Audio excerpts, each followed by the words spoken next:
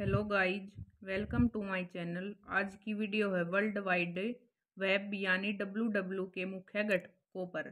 W W W के मुख्य रूप से निम्नलिखित घटक होते हैं जिन पर इसे आश्रित रहना पड़ता है। पहला है वेब सर्वर यह शक्तिशाली कंप्यूटर होता है जो सूचना को वेबसाइट के रूप में रखता है। कंप्यूटर इंटरनेट से जुड़ा होता है और यह ग्राहक को आवश्यक सूचना की पूर्ति करता है। यह मूल रूप से वह स्थान है जहाँ वास्तविक वेबसाइट बनाई स्टोर और एक्सेस की जाती हैं।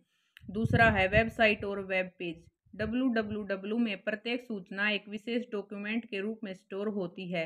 इस डॉक्यूमेंट को वेब पेज कहते हैं। कई संबंधित वेब पेज एक वेबसाइट बनाते हैं, अतः एक वेबसाइट में बहुत से वेब पेज हो सकते हैं। एक वेबसाइट के वेब पेज अन्य पेजों से लिंक रखते हैं और ये लिंक हाइपरलिंक कहलाते हैं। हाइपरलिंक पर क्लिक करने से इससे जुड़ा पेज प्रदर्शित हो जाता है। वेबसाइट वेब सर्वर में स्टोर होती है। प्रार्थना करने पर, वेब करने पर, वेब सर्वर वेबसाइट की एक कॉपी ग्राहक के कंप्यूटर पर भेज देता है।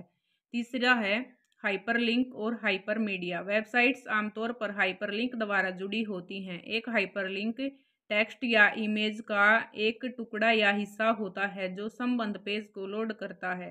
हाइपरलिंक के ऊपर कर्सर लाने पर हाथ के आकार का कर्सर दिखाई पड़ता है, जबकि सामान्य टेक्स्ट में ऐसा नहीं होता। हाइपर मीडिया कई माध्यमों जैसे ध्वनि, एनिमेशन, मूवी आदि से लिंक करता है। हाइपर मीडिया विभिन्न मीडिया जैसे एक single file, sound, graphics, animation और टेक्स्ट का समूह होता है। चौथा है हाइपर टेक्स्ट मार्कअप लैंग्वेज।